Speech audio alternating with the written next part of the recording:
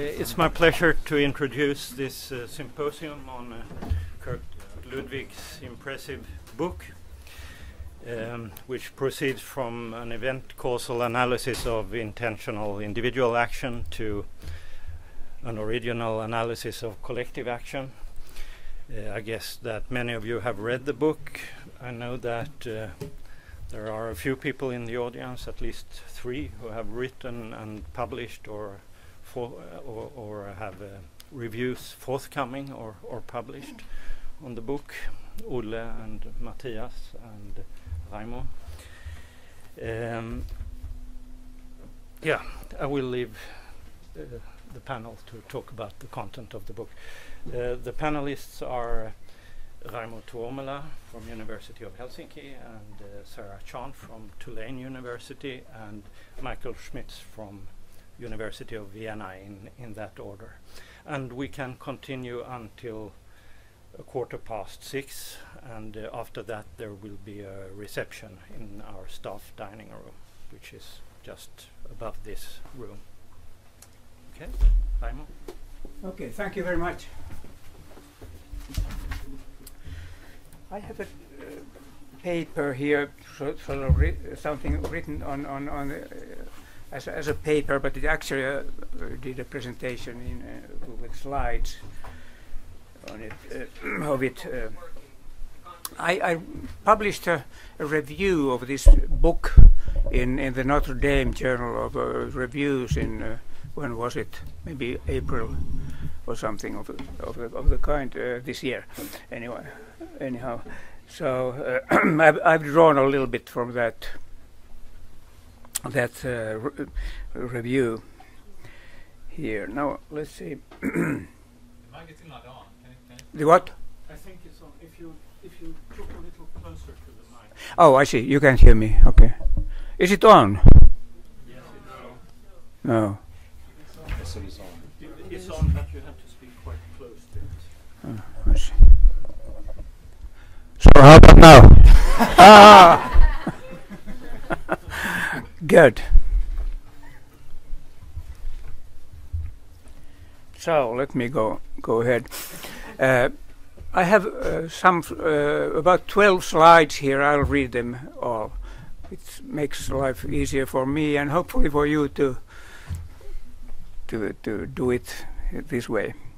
Uh, Ludwig's uh, book is an exceptionally well argued, high level contribution to analytic single agent and plural agent action theory.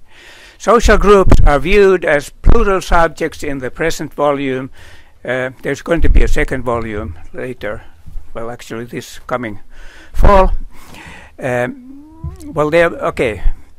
And uh, the plural subjects ontologically consist of a collection of single agents who generally are capable of shared we intending that they act together.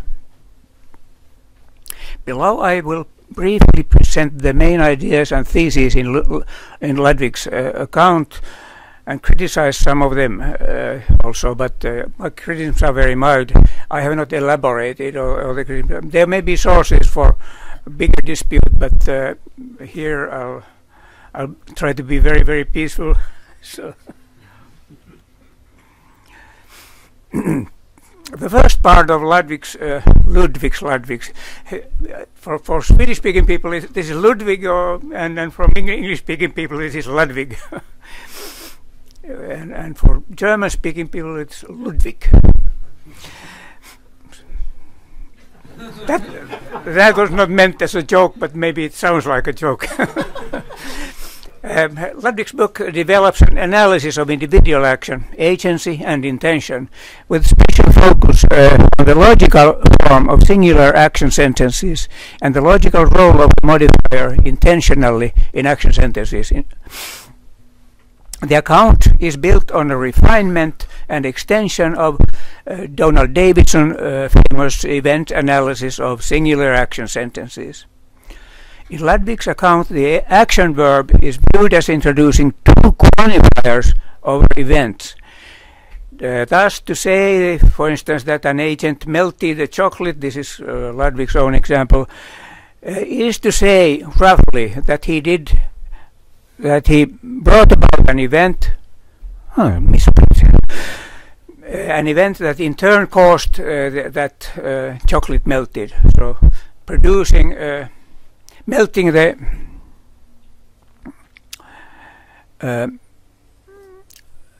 presupposes that the agent does something, uh, brings about a certain event, which causes that the chocolate melts. A central achievement of the book is that it gives detailed and innovative technical representations of many central notions and phenomena that action theory is about. In the second part, this book develops an account of plural discourse about collective action and intention. The focus is on the logical form of plural action sentences in, in this part. We built a bridge is a, uh, would be an example of such a sentence. And on sentences attributing we intentions to action, for instance, we intended to build a bridge, as well as on the content of individuals' intentions, that is, we intentions, when they are participating in joint intentional action.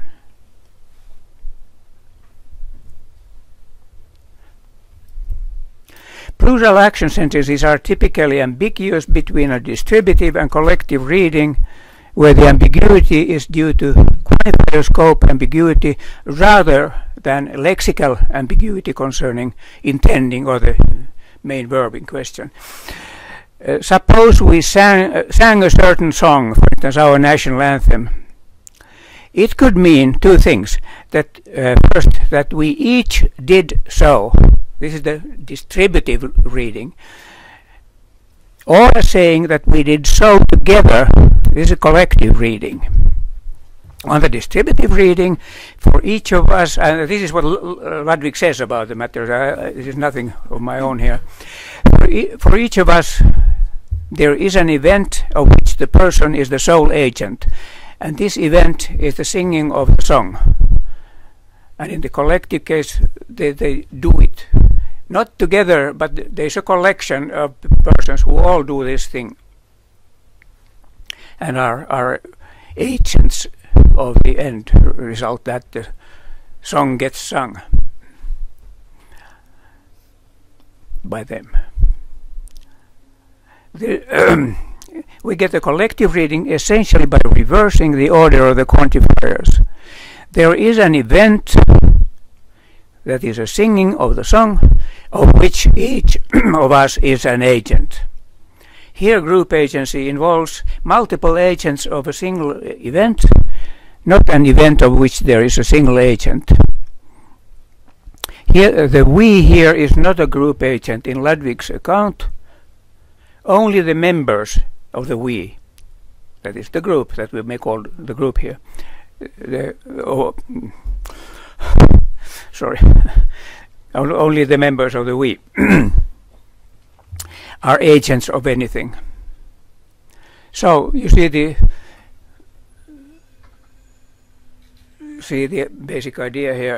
Uh, I think there's nothing more that is needed here for that. Ludwig claims that fundamental, and uh, now we go to big questions in uh, problems in principle. Ludwig claims that the fundamental understanding of the social requires an understanding of the nature of collective agency and of how the various aspects of the social world are grounded in it. Ludwig's goal is to provide an account of the basic conceptual structures that are involved in collective agency. And for him, the foundational understanding of social reality depends on understanding the nature of collective intentional behavior and how it differs from individual intentional behavior. I accept this, and there is not not much to criticize here. I, I say some, maybe some qualifi qualifications might be needed, but we, we soon come to that, and precisely now. Ludwig relies on two basic uh, principles. First, an account of collective intentional behavior should be built on an understanding of individual intentional behavior. And more complex forms of in collective institutional behavior should be understood in terms of more basic forms of collective intentional behavior. So uh, the building ground uh, the, uh, is, is always individual action and what can be and principles by which uh, something more complicated uh, can, can be built out of them. So this is a form of individualism.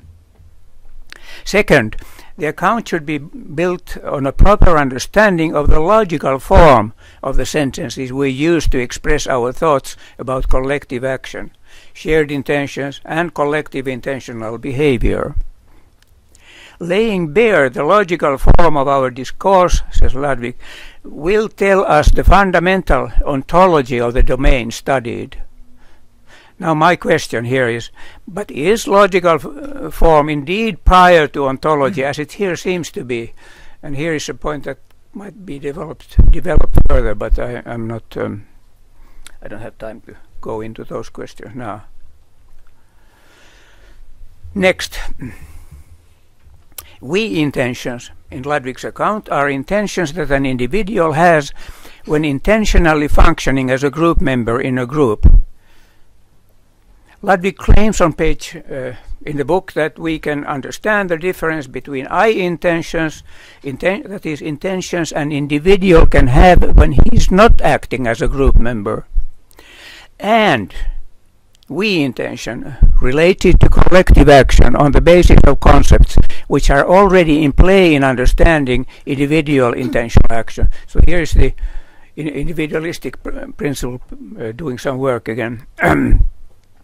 but I doubt this claim myself. Uh, yet, uh, uh I don't. If you read my social ontology book uh, of 2013, uh, I have some criticism of this kind of ideas, uh, but uh, here are uh, Ludwig is very consistent in his views, and, and, so you have to criticize the whole approach if you have, have criticisms against, against some uh, special claims. Um, I, am saying here that I doubt this claim. Yet it is left open here what understanding the individual case exactly requires. So that is something one can begin with if one wants to criticize this view. In Ludwig's account, a group acts intentionally when its members intend that they perform the parts of a joint action and carry out their intentions successfully. So this is a sufficient condition for intentional action by, by plural subject groups. Uh, this seems indeed right for plural subject groups but not for groups in which authorized members exist for plan formation, uh, etc. Thus, if a plural subject group acts intentionally, it rather trivially entails that its members act intentionally. Plural subject groups are not agents according to Ludwig. Basically because they cannot perform primitive actions or basic actions in older terminology uh, and cannot have de re intentions towards such, such actions. That I accept. Uh, yet I have argued that in certain un unstructured groups there are that are plural subject groups, they can be agent in an approximative sense that the mereological sum of its members uh, members' actions involves um, some formulation problems in that sentence, but I hope it's clear enough. Ludwig assumes that the logical form of collective action descriptions contains central information about the ontology of collective action and relevant mental notions. This, in a way, was already said. Uh, much as we do it in our common, common folk psychology. Is this a, a tenable uh, assumption? So is ontology importantly dependent on on, on uh, logical forms and things like this. Uh, it seems to ignore the criticisms of folk psychology because the descriptions and uh, things are this, this, information is, is related to folk psychological ideas. So, criticism of folk psychology and people's common intuitions and views. Uh, the criticism old, already in, in a way old criticism by Stich from the was 70s, 80s, and Radcliffe and others. I'm not claiming here that Ludwig uncritically accepts folk psychological claims, but the, but the above criticism, if right, might well affect the social ontology that his theory builds on. But this is just a uh, not a, seri a, seriously argued claim here. I, I don't have very good arguments so, so for it, so I didn't write more about that thing here. But that's sort of my intu intuition about the matter. We intention is a central element in Ludwig's account and also in my own account that employs thick I say thick we mode we intentions. So we mode we intentions which are in the we mode. I have to do a, a little bit explaining uh, if you don't know this notion of we mode. Uh, there's at least somebody in the front who does not. I'm, I'm sorry. this was supposed to be a joke.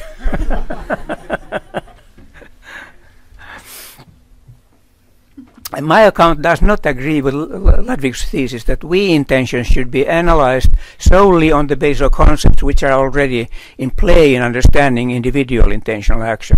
Groups may be needed, uh, group notions may be needed uh, to so, my, according to me. The we mode is in is with us is with us in many cases of collective thinking and acting uh, sometimes I say that we, we learn the we mode in, in uh, from our mother's milk already. But this is just not a very seriously worked out thing. Uh, people are not only typically, I continue, people are not only typically cooperative, but also disposed to act together in the we mode. Anecdotal evidence from ordinary life and also some experimental work supports this intuitive claim. I could give some references here to Colman. There are also arguments from game theory to the same effect of course, one may think that game theory is game theory and it's just a normative theory. It doesn't have to describe reality properly and, and so on. But uh, I, am still saying that there are uh, arguments of this kind uh, in game, game theory, arguments that I have taken rather seriously. For instance, in my 2013 OUP book, uh, Social Ontology, I've been arguing that we mode we intentions are in many cases for instance, parity and collective action dilemmas needed for empirically best outcomes of social action and interaction. Okay.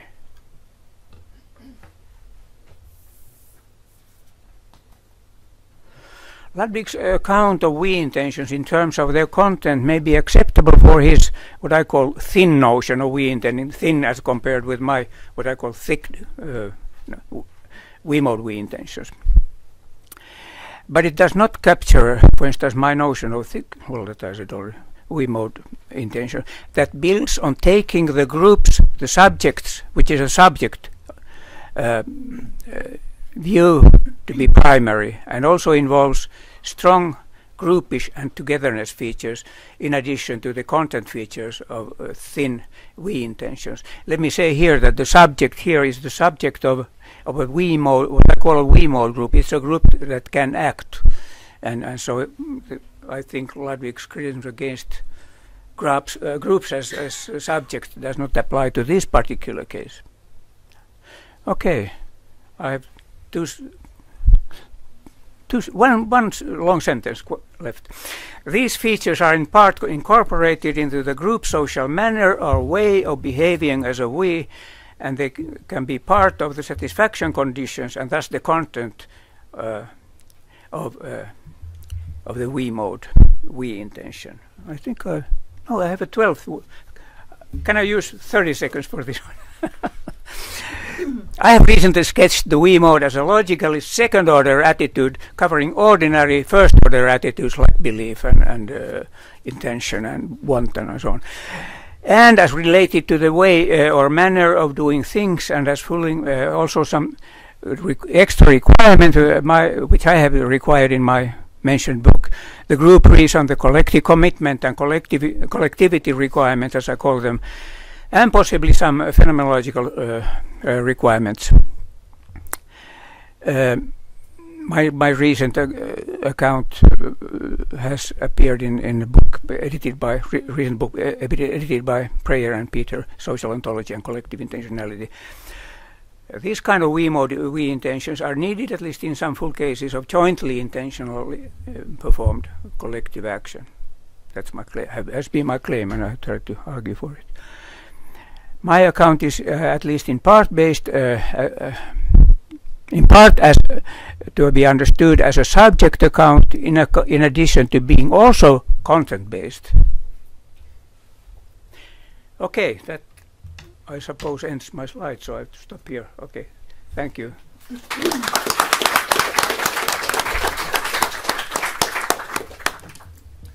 Alrighty, um, so my paper is called Ludwig's Universalism about Collective Action, and I'm just going to read it from here since I can't really walk well. Um, my comments aim to show that, like universalism about material objects, Ludwig represents a position, what I'm calling universalism about collective action, that's not typically appreciated in collective action theory. Um, I'm going to suggest that his view is a consequence of a widely appreciated assumption shared by the vast majority of collective action theorists, uh, one that I take to be a mistake. And I argue that his response to my two good Boy Scouts case is mistaken, and thus it raises a concern for his overall theory. So first I want to explain how Ludwig's theory, and I'm going to call you Kirk from here on out because that's how we do it USA style, um, entails uh, helping two little old ladies cross the street is a collective action. And then I'm going to go on to make some comments. So one, I'm just going to give you some bullet points because I have to do that for myself. Kirk's analysis of collective action sentences reveals an ambiguity between a collective and distributive reading.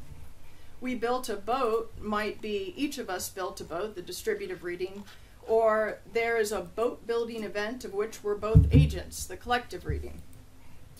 Uh, what is it for each of us to be agents of the boat building event? It's for each of us to have performed actions that contributed to the boat building event. The collective reading of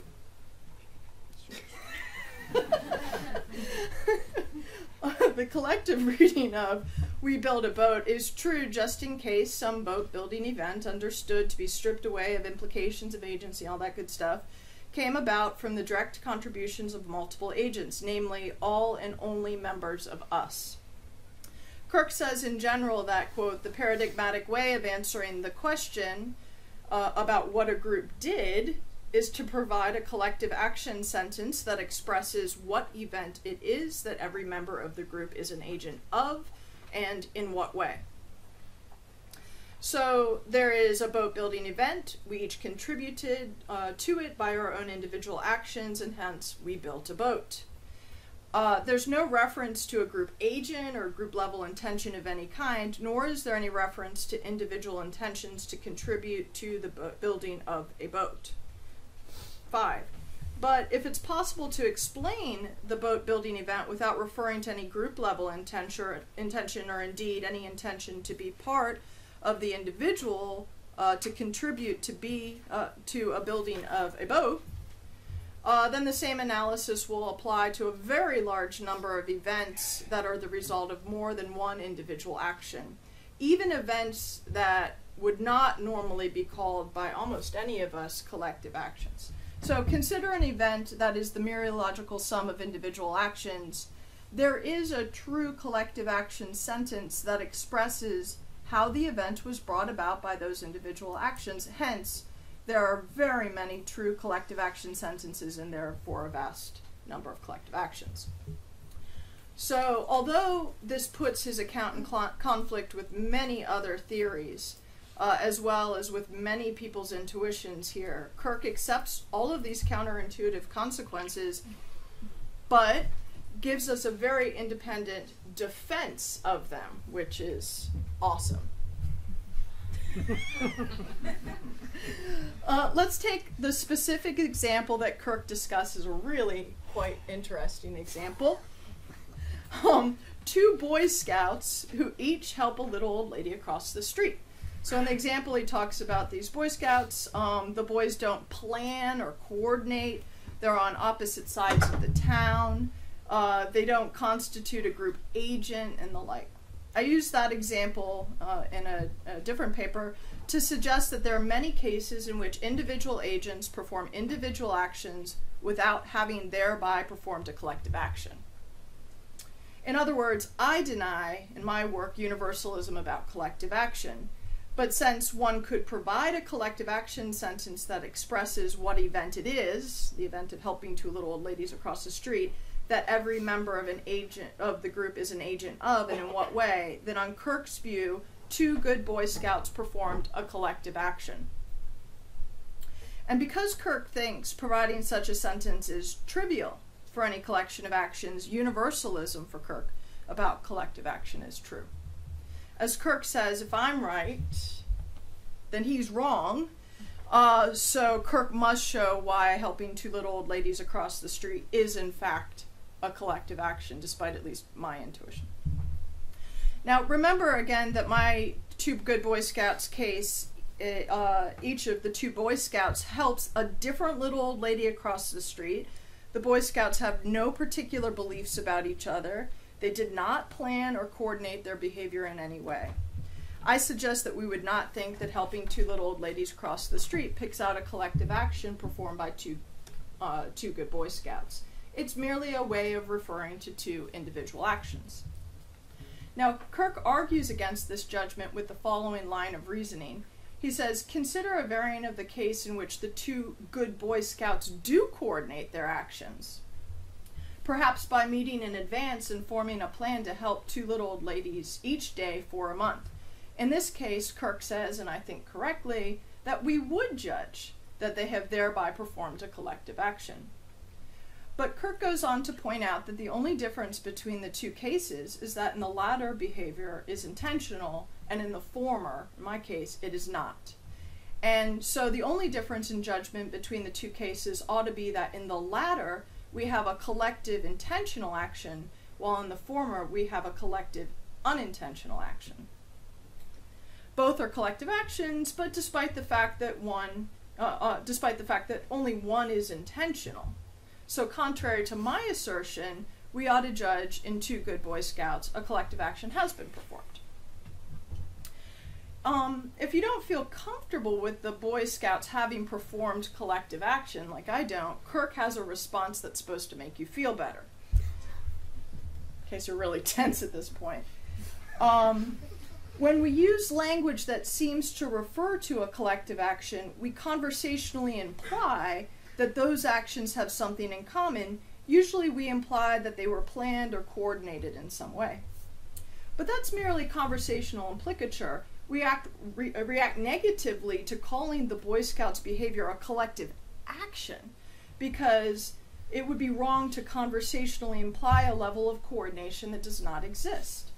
But if we put aside the conversational implicature, there's no logical reason to resist the claim that the two good Boy Scouts have performed a collective unintentional action.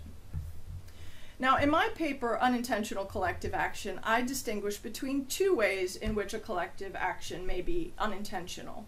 Roughly, a collective action is weakly unintentional under some description if the event mentioned in the description was not intentionally brought about, but there's some description under which it was so intentional.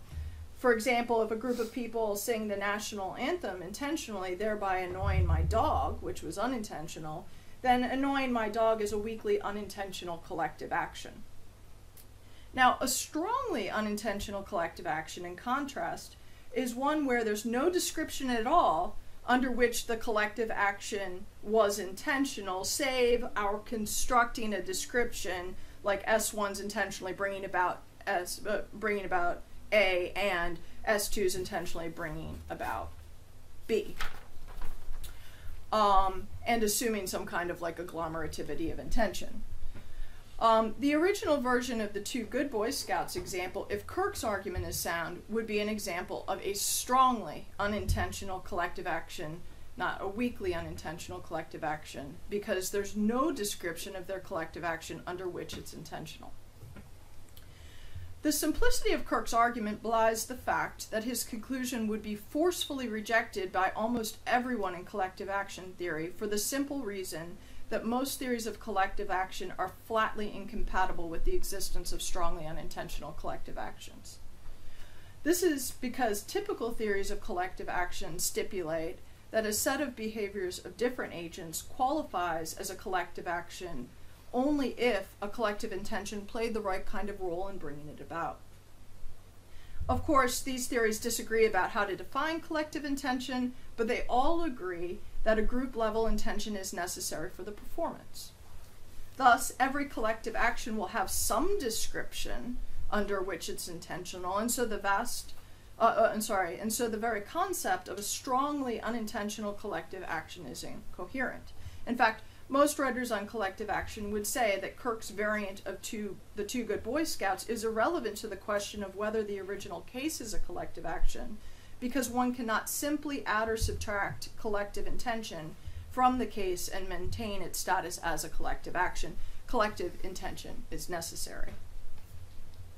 The obvious challenge for a, uh, for a view that allows for strongly unintentional collective actions is how to draw a non-arbitrary distinction between collective actions and mere collections of actions.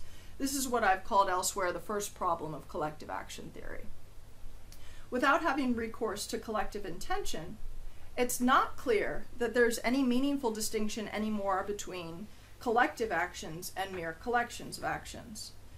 But Kirk bites the bullet here. He says every mereological sum of actions perform, performed by more than one agent, or he's committed to rather, uh, could count as a collective action. That is, as you'll recall, so long as one can provide a collective action sentence that expresses what event it is that every member of the group is an agent of, da da da, then the group has performed a collective action.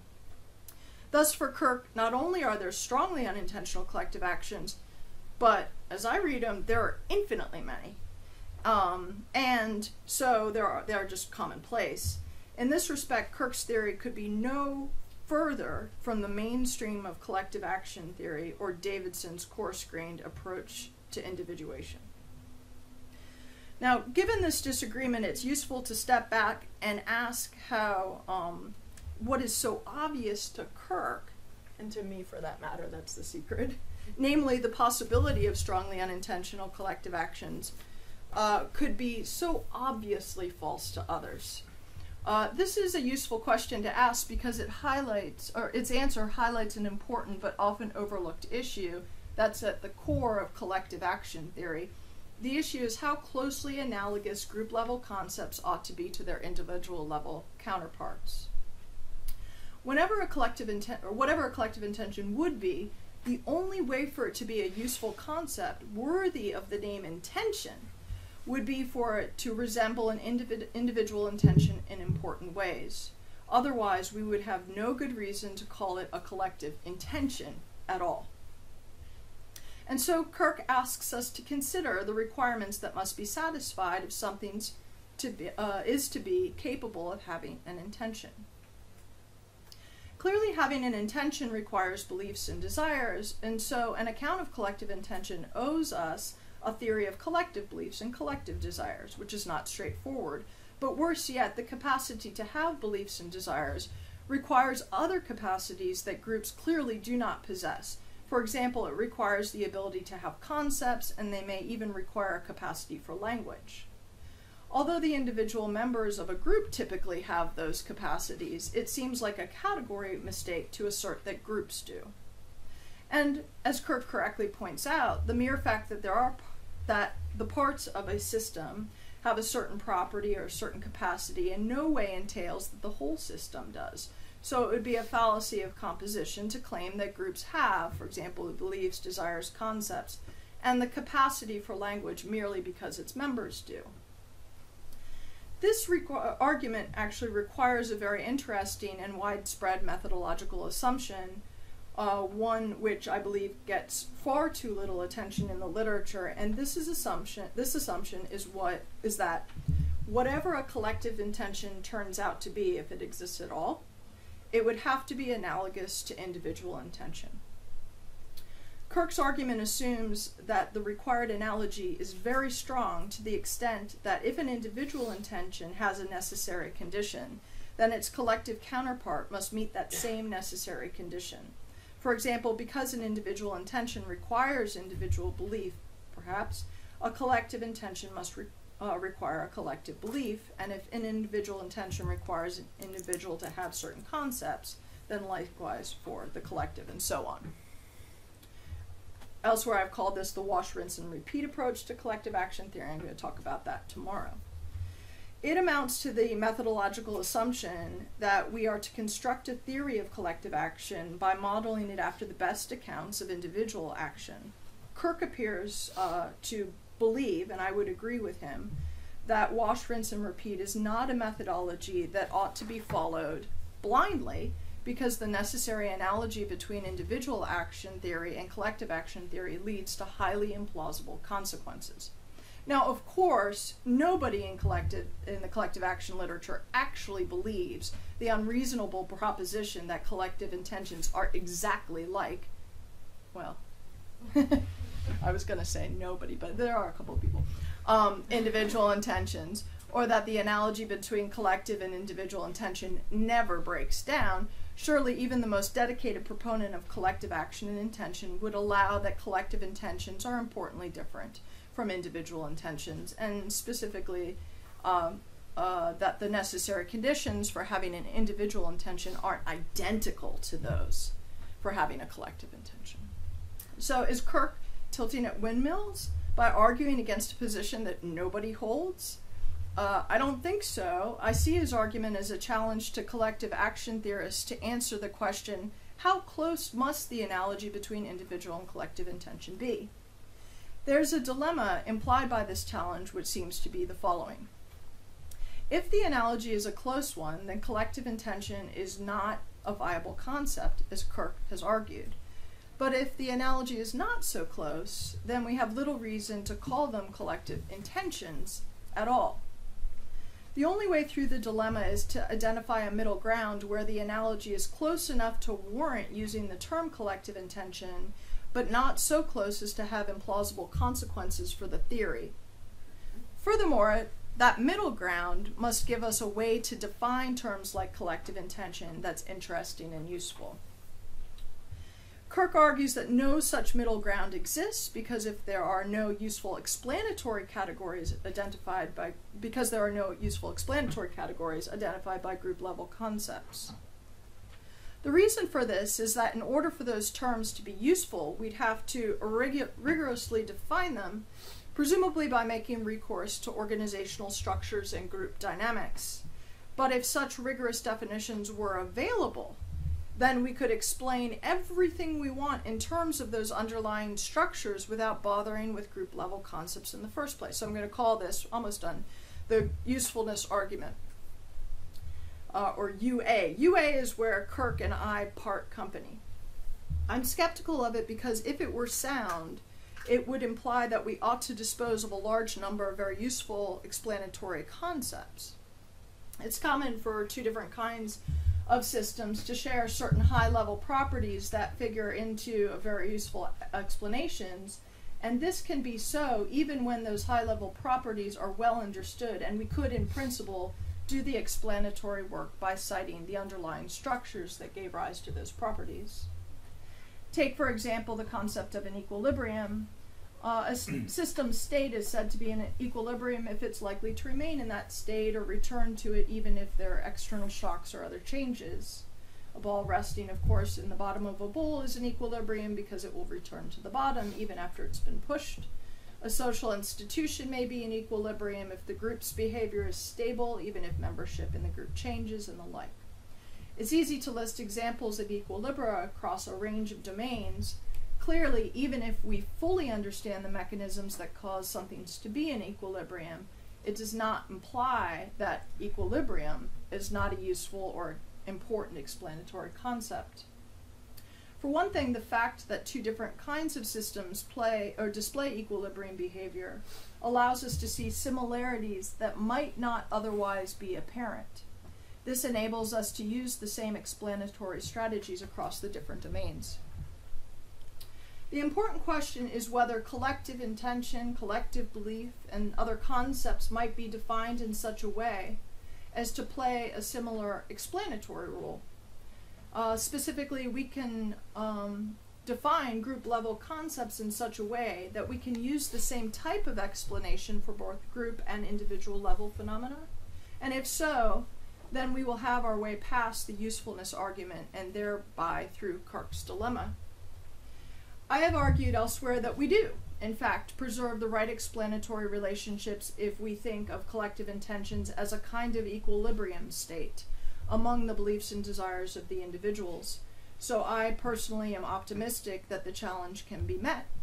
But regardless of whether any particular theory is the right one, Kirk's arguments do not succeed in establishing the impossibility of constructing such a theory.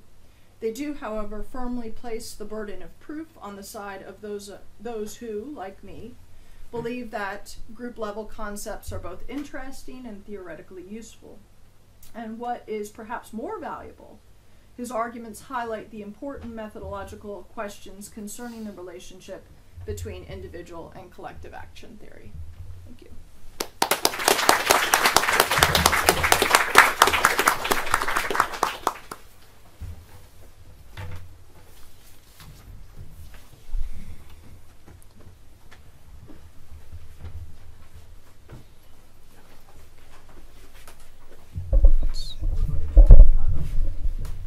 Yeah, so there's a handout.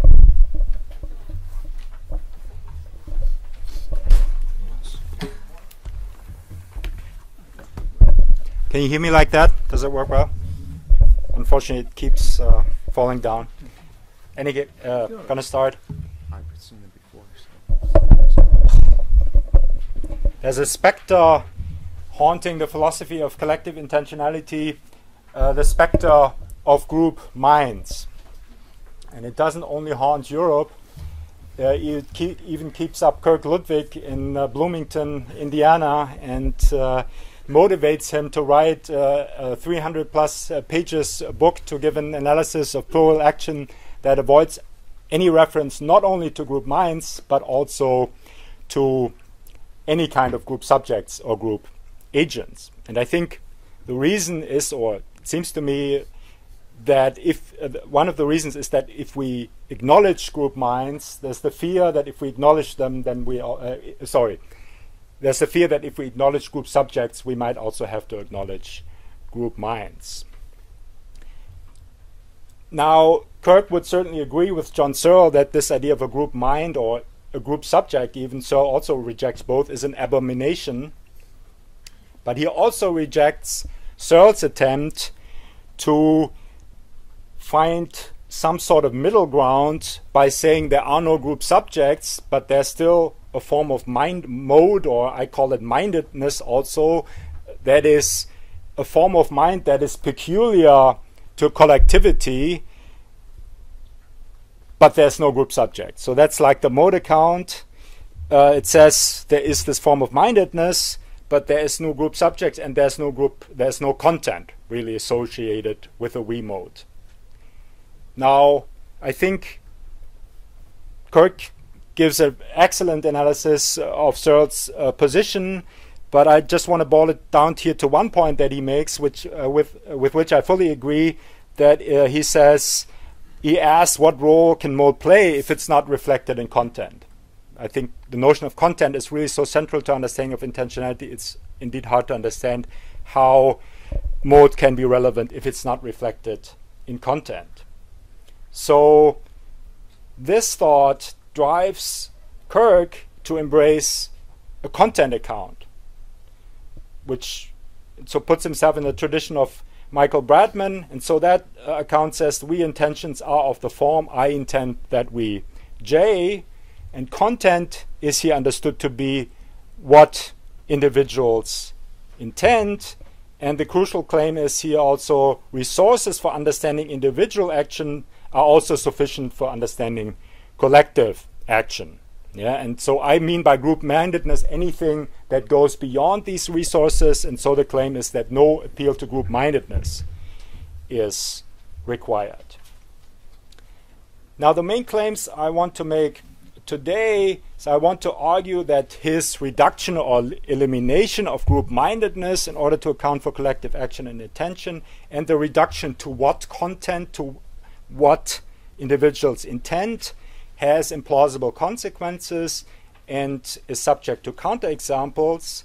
And uh, the criticism could be put in a nutshell by saying that jointness cannot be reduced to what content. It's not a matter of what individuals intend, but who intends it, and uh, therefore I think it cannot work. But I also want to like at least sketch a more positive thesis. I agree very much uh, with Kirk that if we want to make sense of group mindedness, we must make sense of how it is reflected in content. And I think that also commits us to group subjects, but I don't think it commits us to group minds, but we can think of group subjects simply as, indiv- of, as individuals as related through group mindedness.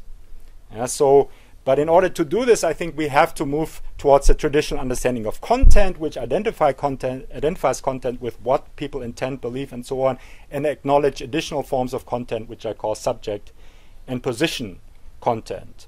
And I uh, and so I'm going to sketch an alternative, which I think can also meet uh, Kirk's. Uh, I think valid criticisms again of Margaret Gilbert's uh, form of a plural subject account. And towards the end, I was going to say this can also account for distributive versus collective intending as opposed to acting, and for intending to versus intending that. And so that uh, uh, alternative account looks somewhat like that. So the, the idea is before the we's were kind of isolated, there was just forms of group mindedness, and now they're connected and we have a joint goal.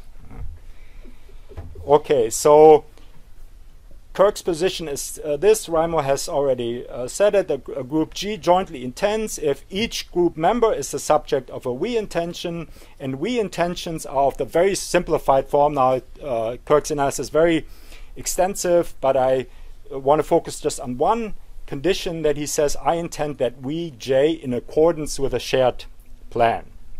I think one might try to criticize also the first point uh, because uh, one might think that in some cases maybe not all members of the group have to have the relevant attitude, but I won't. Uh, I will accept this for purposes of the argument. But I do not only want to question the second analysis, I also want to question its motivation. Uh, in a way, I mean, I want to ask why should we even strive for such a reduction of we to I? So, in my view, the we as the word is irreducible, why should we even try to reduce it to I? Because it seems to me well, we can have a view that accepts the irreducibility of the we, and that's still individualistic in, in as robust a sense as I think we could want. Yeah, so so this would be one way of formulating this individualism about group intention. Whether group intends something depends entirely on the subject we intentions of its members or agents, if we have such cases as lawyer acting for corporations or something like that. So group intentions can only change through changes of these individual we intentions. So there's nothing there over and above individual minds, but still the we versus I may still be used to indicate irreducible differences in group mindedness or group identification. And I, I will argue that is in fact uh, how we use it. And so the idea is we picks out individuals as related in certain related to certain forms of group mindedness. So that's uh, the background. Now I propose to take a step back and briefly look at Searle's analysis of causal self-referentiality because Kirk both accepts crucial aspects of this analysis and I think it's revealing to see his analysis kind of like continuation and extension of the basic patterns of Searle's analysis, and I think he opens up uh, himself to similar objections. Then, so so Searle proposed that the satisfaction of certain states and speech acts, including intention, require causal relation between themselves and the intended and ordered or perceived object. So so, uh, so the execution of intention requires causal relations between them and action. Therefore, the content is such that, so here we have the subject and the mode. I intend that I perform the action of raising my arm by way of carrying out this intention. So this is a self-referentiality. Now here's just one problem with it. My intention to close the door and you believe that I will, on this view cannot have the same object. I think it seems to me it's natural to say it could have the same object. I intend to close the door. You believe that I will do this, and we're both directed at the same object, the action, but the causal relations between my state and my action are part of my intention, the content of my intention on this view, but not part of your belief, and therefore it couldn't be said that we have this as the same identical object. And to put it even more simply, you could just say, really, this is, uh, is this, this is wrong. The causal relation, yes, there is a causal requirement here, but it's not a matter, it's a matter of intending. It's a matter of me intending this and not of what I intend. And uh, Francois Recanati has uh, called this a fallacy of misplacing mode information, information that really belongs into the mode, into the content in the sense of what content.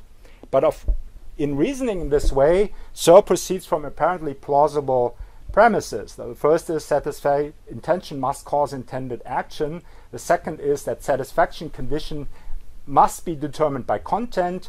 And the third is finally the, that content is what is intended or is the embedded proposition. And that leads us to the conclusion causal relation between intention and action must be represented as part of what content.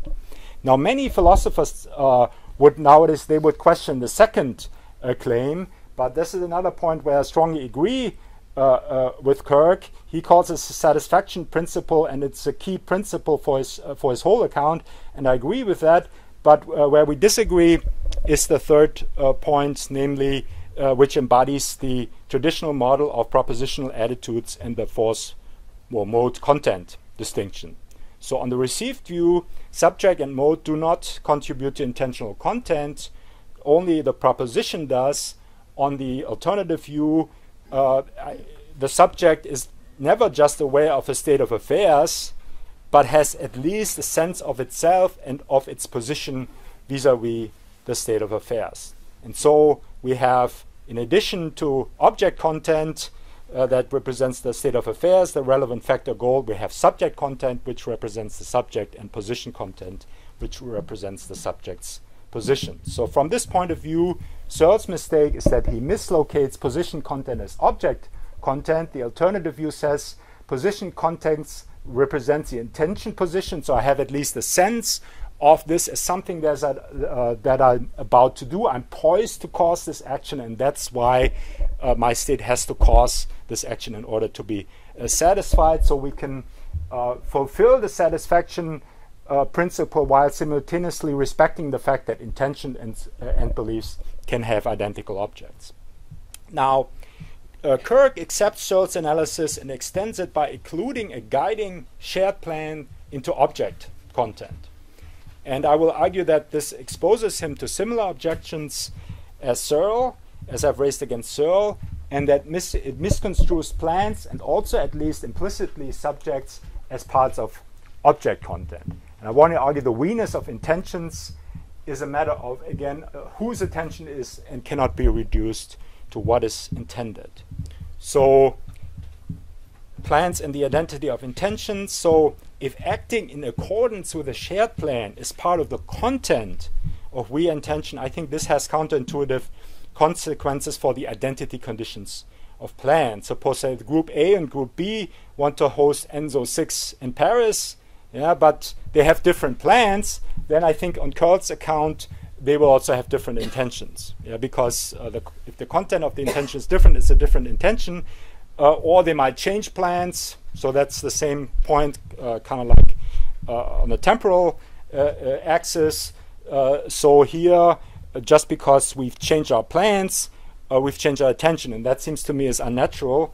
And I think it's even, it seems to me it even follows that because A and B intend the plan to be shared among different group members, A the, group, the members of A intended to be shared among themselves, and the members of B intended to be shared among themselves even if they have the same plan, just the mere fact that they have uh, different members would lead us to say that it's a different intention. And so I think that's a counterintuitive uh, consequences. And just very briefly, I think the uh, alternative would be to say some intentions may essentially be part of plans, but I don't think we should say that the plans are part of their content. Okay, so now uh, why the shared plans?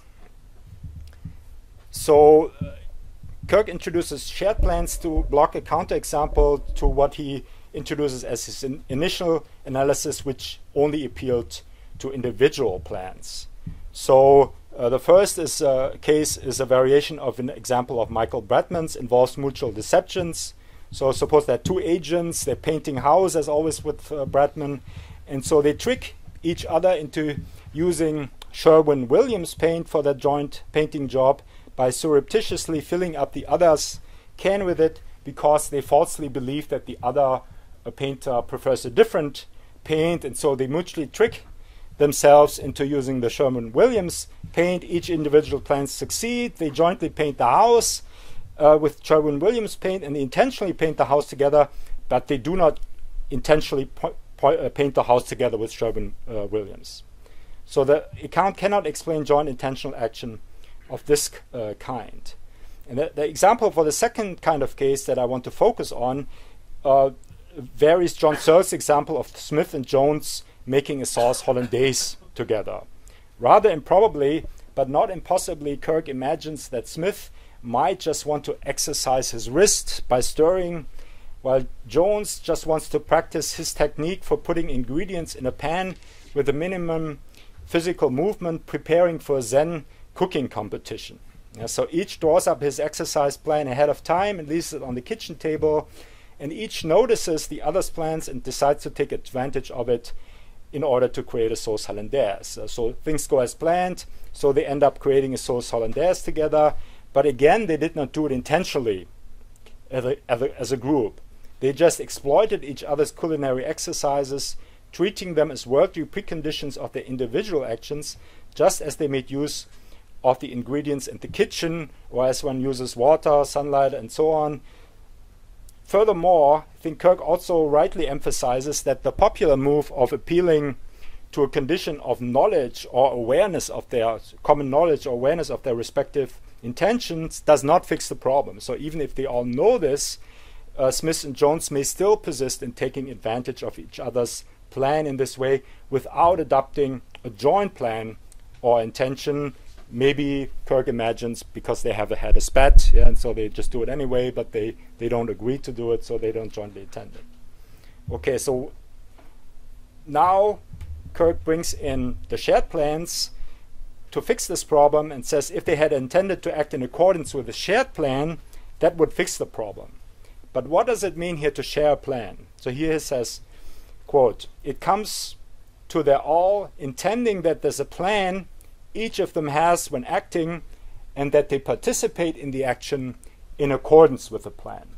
So each group members intends that there be one identical plan they all act in accordance with. Now it's important to emphasize that I intend that we J in accordance with the shared plan here cannot mean something like I intend that we intend, so it cannot be an intention that we form a joint intention, nor can shared plan mean our plan or something like the plan we have on pain of circularity.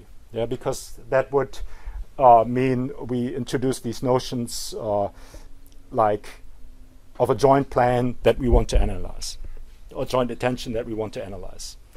That the plan is shared just means that each individual intends that the same plan be followed. But now I think the problem is having the same goal of the same plan being followed by the same people and jointly having a plan is not the same as jointly having a plan, and I think cannot explain the jointness of intention. So here is a, a counterexample, and it basically just says we uh, exchange the individual plans in the early examples by a plan for joint action. And so Smith creates a plan for him and Jones making Hollandaise, specifying their roles, time and place, puts it in the kitchen for Jones. Jones copies it and puts it in Smith's room. So Smith has intent, I intend that we, that is Jones and I, make Hollandaise in accordance with Plan B, and accordingly Jones he has the intention, I intend that we, Smith and I, make, and so on. So they mutually intend that they participate in a joint action in accordance with the same plan. But I think still they do not jointly intend to make Hollandaise. It would not be accurate for either of them to say we intend to make Hollandaise together in accordance with our joint plan P. Why? Because they have not jointly committed to this course of action. There has been no meeting of minds. They have not connected with regard to this course of action, however you want to put it. And again, it, I think that mutual awareness would not change this either. Yeah? So it, thus theoretical awareness of the other's intentions falls short of a joint practical commitment. So even mutually expressing their I intentions would not be sufficient. Each must affirm something like, let's make this sauce together according to P. So each must represent the subject of this intentions through the subject content of an irreducible we, which puts them out as jointly committed to action. So that, that gives us a collective, non-distributive reading of we intention. I come to that. So I have three more slides. Can I do them? Yeah, thanks. So first I want to briefly comment. Uh, so does that mean I'm endorsing Margaret Gilbert's account of plural subjects because I just appealed to commitments? I, I agree with Kirk's criticism of it when he says he uses the example of some guy is kicking around a ball in a park and two other people join and say if C kicks the ball to B and then waves and runs back to the sidewalk, we have no sense that A and B have a right to call him back to participate. And I think that is completely right, but there's still a bond here, as evidenced by that he describes uh, it uh, quite naturally. One is waving, and that is an example what uh, Michael Tomasello and other psychologists call leave taking, a behavior that starts about around three years of age. And I think it, it evidences there is some kind of bond, some kind of connection. It would be rude just to run away. So there are non-conceptual, uh, non-propositional forms of group creating, group mindedness, such as joint attention, joint action, joint skills, joint patterns, tendency, and so on. So commitment is important, but I think it's not necessary. Okay, one way of putting my point is to say um, there is a collective reading also of intending, and not only of the action that is intending. Now, Raimo reminded us already uh, that uh, Kirk's account of distributive versus collective action reading is for each X of S, there's an e event of X singing, that's just the distributive reading, versus there's an event of singing such that each X of us participates in it. Now he says now there is no collective reading for attention, though it is formally available, because he says one and the same state cannot be a state of distinct objects. But if that's a good argument, I want to ask why isn't one and the same action cannot be an action of distinct objects or subjects, um, if you will. Uh, so you see that's a rhetorical uh, question, obviously. Uh, I think it, exactly parallel argument can be drawn up, and my hunch would be we should reject both of these arguments, but Kirk's procedure is in keeping with the tradition of treating collective action as less problematic than collective intention in might worry again is this some kind of dualism, respect of the group mind, so on. It seems to me there's really no reason for this different treatment. There's no more reason to suppose that collective intention requires a group mind than that collective action requires a group body. So we can just think of collective actions as connected individual actions, that gives us joint actions, collective intentions, we have connected individual states, and that gives us joint intentions and individuals connected to actions, intentions, attention, skills, and so are group subjects. And then we can avoid any mismatch between intention and action subject of the form I intend that we J. Now this point has to be made with some care. I'm not saying there's nothing wrong with, for example, having something like I intend that we J or I or we intend that somebody organize ENSO 6 or anything of that kind. But I think that we intend that somebody organize ENSO 6, for example, which is not our action, only makes sense if we are ready to intend to do things to bring this about. Yeah, so we can only have this our aim if we can do things and intend things to bring uh, this about. So I or we intend that is both different from and presupposes I or we intend to. And so we need to account for both and we need to account for the difference. Yeah, and Kirk gives an account of the difference for the individual case, but not for the weak case. And I don't think how he could uh, possibly do it because that requires the matching of the subjects of intention and action. So thank you very much.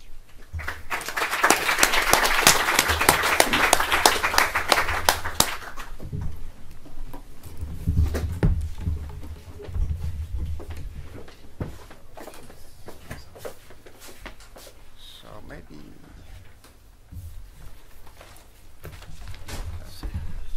Just get it out of the way. Okay, so let's see. I talked for 17 minutes.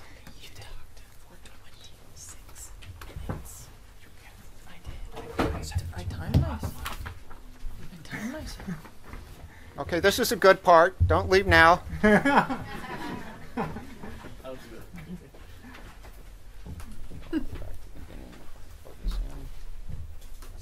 Okay, there we go.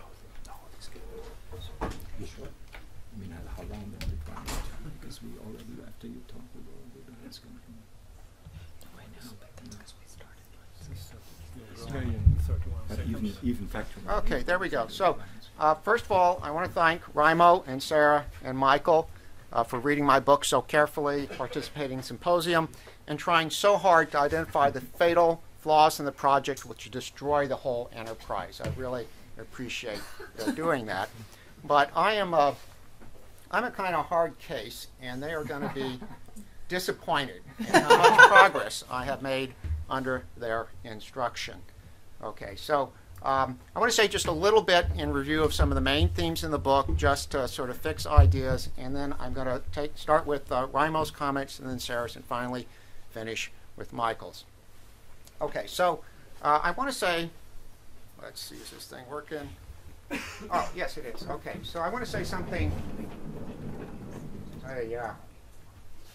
Uh, there's like joint presentation here, two slides at the same time. So I want to say something just about the methodology of the book and um, uh, right. So um, the idea was to try to get some additional leverage in thinking about what's going on with uh, particularly plural action sentences. Though I have a second book that works on institutional uh, action as well. And uh, the idea was to make use of a really rich body of work on the logical form of singular action sentences and see if we could use that as leverage to getting a better handle on what's going on with plural action sentences. And there has been some work on the logical form of plural action sentences more in linguistics than in philosophy, but in collective action theory, there was nothing. Nobody was thinking about this whatsoever.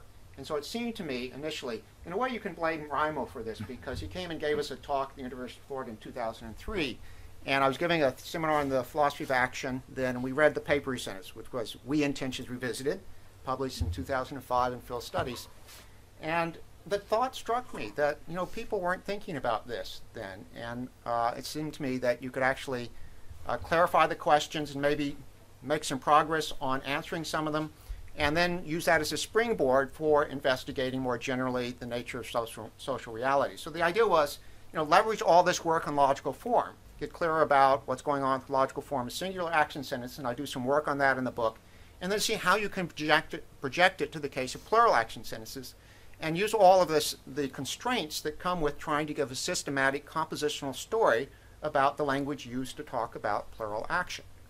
And then once you've got that in hand, take that and apply it to the case of uh, plural attributions of intentions using work on attributions of I intentions, individual, individual intentions, and their contents. So it's take all this stuff in the individual case think of how it projects, first of all, to plural action sentences, and then think about how that gets worked into the content of plural attributions of intentions. So this is the idea. Um, I'll come back to you know whether or not uh, worries about group minds plays a big role in my motivations. But first, um, just real quickly, uh, you know, if you really just want to boil down the, the book to what are the main uh, sort of thematic things, there's a lot of stuff going on. But I would say, first of all, there's the multiple agents account of collective action. That's the thing that Ryan will describe at the outset. Uh, plural action sentence is ambiguous between a distributive and a collective reading. If I say, we built a boat, and it's, you know, an engineering class, we all had a project, and we all decided we build a boat. By coincidence, we discover that somebody else, what did you do? And I say, we built a boat. Distributive reading. Each of us is such that he built a boat, or each of us is such there's some event of which he is an agent, and it's a boat, boat building. And then there's the plural case. There- There's a collective reading of that as well. We built a boat where we mean not that each of us did so individually, but we did it together. But once you've got the idea that the you know the matrix of that action sentence introduces a, a quantifier over an event, and in the distributed case, the noun phrase is interpreted as a quantifier over members of the group, just reverse the order of the quantifiers, and you get an intuitive account of what's going on in the collective action case. If in fact there's some event, for example, in a case of lifting a bench, a bench going up, that each of us contributes to, and no one else in the relevant way, then a bench was lifted by us. We lifted a bench together. And you get this just drops out of thinking about the logical form. Okay, so that's the first step. And then uh, once we got this idea that plural action sentences don't actually introduce a group into the agency relation, but only individuals, when you go to think about plural attributions of intentions, there's no point in having a group as the subject of the intention. So you just uh, you you interpret the noun phrase distributively, both when you get the distributive reading of the attribution of uh, intentions to group and in the collective case, and then it's all a matter of what's going on with the rest of it. So each of us, well, to use Raimo's phrase, we intends us to do something, and the question is uh, how to interpret what's going on with that uh, last part. And as Michael says, I have a content-based approach like Bratman. And it's motivated fundamentally by trying to think through a compositional account of the verb intention, the uh, grammatical object of that, what's going on with uh, individual and plural action sentences. So that's where the basic motivation comes from. Okay, so now I'm going to just run. Oh, and well, finally, uh, with respect to we intentions, yeah, the central idea is what I'm calling the shared plan analysis. And um, that too is actually motivated by systematic projection of what we would say about individual intentions of the plural case. So it's not primarily case motivated, it's primarily motivated by an analysis of the semantic and logical structure of attributions of individual and plural intentions together with an account of the logical form of plural action sentences. Okay, so now I'm going to talk about uh, Raimo's uh, remarks and um, well, so here's here's the first uh, sort of uh, semi-disagreement, I think. I'm not quite sure there's a real disagreement with us here. Uh, so Raimo says, I agree with Ludwig's multiple agents account in principle, but argue that in the case of a group jointly singing the national anthem, the group, plural subject group, is or can be the agent of anthem singing and he says, an approximate functional sense of acting as if it were a proper agent. So I want to say, uh, well, uh, okay, in some sense, yes, an approximate functional sense of acting as if it were one agent. Who could object to it put that way? I, yeah, there's some, kind of analogies between you know two people getting together and you know taking a walk and a single person taking a walk.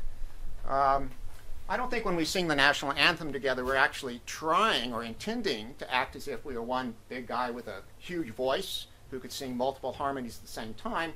But you know, there's a sense in which it's like you know, somebody has a really loud voice who's really big. Okay, so that's okay. Um, you know, sometimes we actually do get together and you know act so as to emulate something else. There is uh, there's the dragon dance, right? Uh, and you know, there's the two-man horse, right? I saw that's fine, but I just want to say, don't mistake it for the real thing. And don't think that by calling it a horse, you get a better explanation saying there are two guys in there who are emulating a horse. Okay so I'm not sure there's a difference here. Uh, you'd have to get more precise about what the approximate functional sense is uh, to see what it really comes to. Okay, so uh, Raimo asked, is my account ontologically reductive or not? Um, well, let's see, I think, I think you covered that. It was in the written comments. And uh, just very briefly to clarify, so I do admit groups into my ontology in addition to individuals. So I don't get rid of groups. I don't attempt to do, reduce the we to an I either. There's the we, it picks out a group of individuals, including the person, uses the term. No problem about that. Uh, what I do say is that they don't enter into the agency relation. So that's where that distributive quantifier comes from. So there's some event such that each of us is an agent of it. So the only thing that enters into the agency relation are individuals. But the us appears in that distributive quantifier, so I'm not getting rid of groups. They're part of my ontology. So groups, but no group agents. That's my slogan. Okay. Okay. So Raimo also asked, uh, can account of, log- of logical form of you know sentences about uh, collective action, uh, institutional action, so on, uh, settle ontological issues like whether they're group agents? Well, um, well, not exactly. What it really settles is what are the ontological requirements of the discourse that we engage in about group agents. And if we think what we say is true, as I think we do, then these things can be true without there being group agents. Is there a further question about whether or not there are genuine group agents out there, independently of whether or not the claims we make about social reality are true or not? Well, yes, of course there is. Uh, but you know, to settle a question like that, you have to do some more work.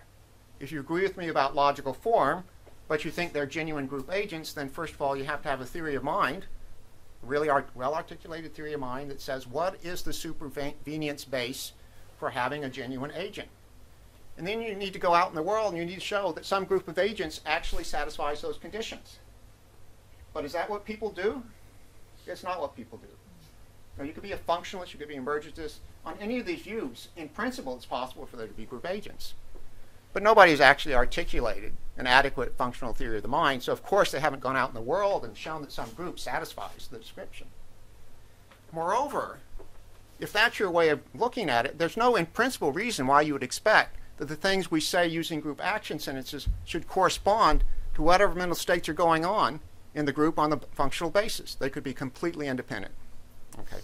So it seems to me that's really a kind of red herring with respect to the sorts of things that people in this room are interested in, which is what's going on in the world that corresponds to the, the, the descriptions of so- social reality that we use in ordinary life. Okay. So I think it's the wrong place to look for the kind of ontological, uh, the ontology of the social that we're interested in. Okay, so, um, well, uh, yeah, what about those criticisms of folk psychology and reliance on intuitions? I got a lot to say about this, but I don't think I want to say it here. I'm just going to say uh, this isn't a problem, especially for my account. It's a problem for the account a lot of people give of what's going on in collective action. It's a, you know a problem for a lot of traditional philosophy in general, or it would be if it were sound. Okay, so I don't think I have to do you know a, a job here in responding to this on behalf of the kind of my my book, but we could all get together and you know have a joint response to these people who say what you're doing doesn't make any sense. okay. Okay, so let's see. Um, the final thing I want to talk about. I'm not going to be able to touch on everything that uh, my commentators had, have said, so I'm just going to try to pick out things that I think might be might be of interest to see how I respond uh, to them. So Raimo says Ludwig's account is okay so far as it goes, but my own account, in contrast to Ludwig's content-based account, uses thick we mode, we intentions and it does not agree with Ludwig's thesis that we intentions be analyzed solely on the basis of concepts which are already in play in understanding individual intentional action. And here's the thing that's really important. Moreover, he claims, the thick notion explains more than the thin notions. And so while there can be no objection to there being thin we intentions, we need thick we intentions for full understanding of social reality. So I think that's the, that's the big claim. Okay. Now, uh, doesn't actually give the arguments in his comment. What he does is he points to other things he's written, like the 2013 book. And um, we have an exchange, actually, on this in a, a recent collection that's just come out. Um, do you remember the, the title of that? Raimo it? had it on this slide. Oh, okay. So you, pr- you've seen the title at least. I can't repeat it. So, um, so there's an exchange in that between us, and uh, there I argue that he doesn't succeed in showing that you need the thick we notions in order to accommodate the sort of data that he says. Uh, so, you know, if I went into that, this would be a symposium on Raimo's book rather than mine, so I'm not going to do that really. But let me just give you a, a brief feel for the kinds of uh, things at issue. So, uh, this is the high-low game. Uh, here's a there's um, you know sort of two choices people can, two individuals can make. And if they both make a certain choice, they end up with something that is good for both of them. And if they make another choice together, they end up with something that's good for both of them, but not as good. And if they don't coordinate, then they're in trouble. So suppose I make a, an agreement with a colleague to eat lunch uh, together today, but we don't specify where. And then when we, we're apart, we suddenly realize we didn't settle that. Then we have to decide where to go. And there are two restaurants we usually go to for lunch, right? So which one should I go to? And I realize there's one that today is going to be closer to both of us than the other one. So that's going to be a high-low game. If we arrive at a restaurant together, that's good. If we arrive at the closer one, that's better because we each have to travel less distance. Okay, and traditional game theory has trouble with this because there are two equilibrium in this, and they can't you can't distinguish between it in classical game theory. Okay, so uh, you know here's the basic question. So team reasoning is supposed to be a way around this by you know thinking of the agent's uh, orientation being toward the group good rather than individual good, and that's supposed to change the structure of the reasoning. Uh, and Raimo suggested that you know you could get this kind of correspondence between the thick we mode and team reasoning. So far as I can tell, uh, team reasoning is perfectly compatible with my view of we intentions. And uh, if you just ask yourself commonsensically, how do people solve problems like this? Well, you know, um, one one op option is obviously the thing that's going to make sense to uh, each of us as being the best option, and we think the other guy is going to do the sensible thing. Um, so we just do it, right? One option is clearly better, but you don't need any, you know, sui generis we, we mode notions to explain what's going on here. Okay, so I claim this is so for all the cases like this. You, you go and look at these collective action problems. I claim you do not need sui generis concepts to explain why people actually choose what we think is a sensible option. Okay, so that's where the argument rests, and I obviously haven't worked through it all, uh, but um, you can go and look at this exchange and see which of us you think is right about this. Okay. Um, now, let me go on. Oh, so to sum up, as Laplace said about God's existence, I have no need of this hypothesis, the thick we mode uh, thing. Okay. okay. Uh, on, on to Sara's uh, comments. So, um, does collective action require a collective intention? And Sara actually agrees with me that the answer is no, but she thinks I'm a little too generous about you know what could count as an action without there being a collective intention.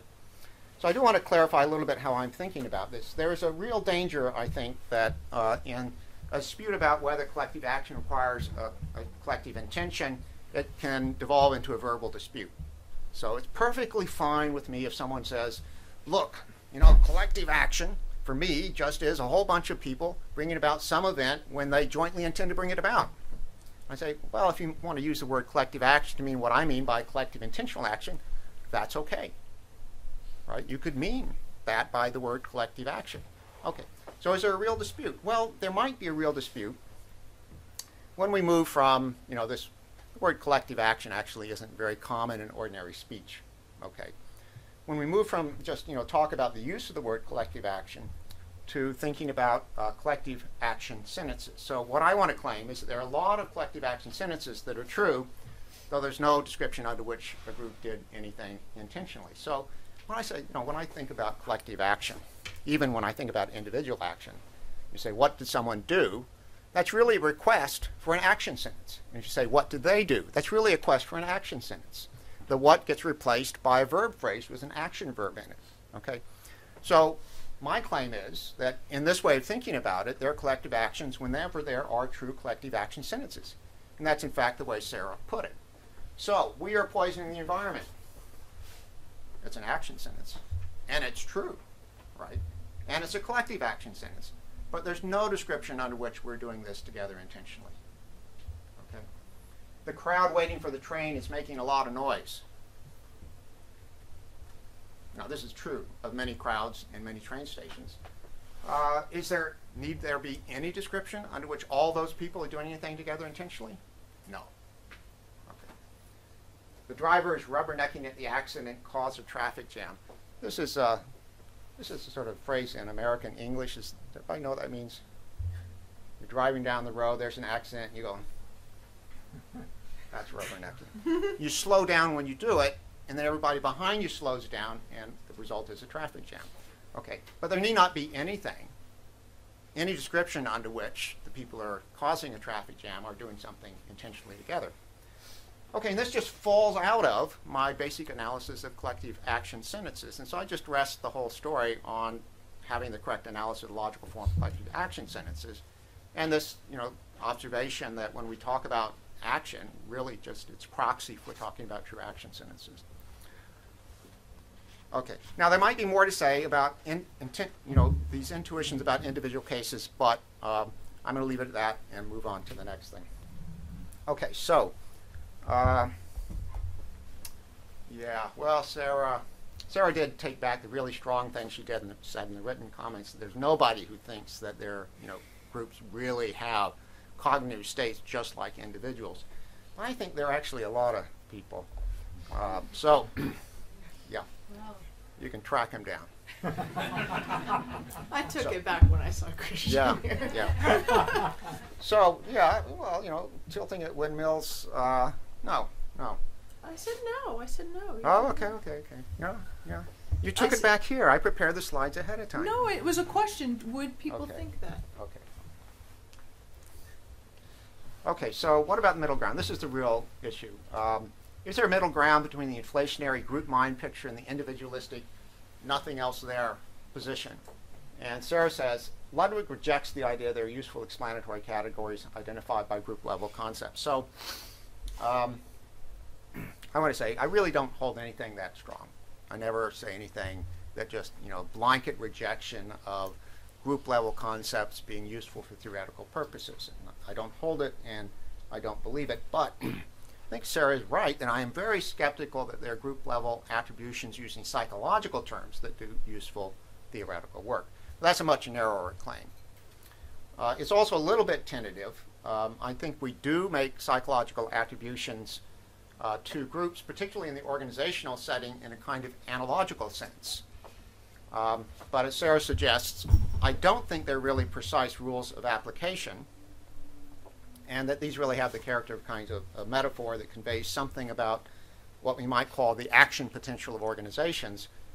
But if you really want to make precise predictions, you have to go below the level of those attributions and look at organizational structure and policies and who plays uh, various roles in executing policy the company has and so on. And so you have to descend below that level of attribution to the group to get anything like a precise prediction of its behavior. And so it looks like the right explanatory level is going to be below the level of these group level attributions of psychological states. Okay, so, um, well, does that mean there aren't other kinds of interesting group level concepts that might do real theoretical work? No, I think there are. But then we need to construct them and see what kind of work they do and how they're related to our ordinary ways of talking about groups. Okay.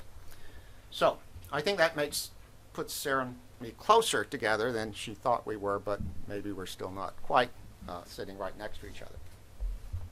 Okay, on to Michael. Fear of groups group minds.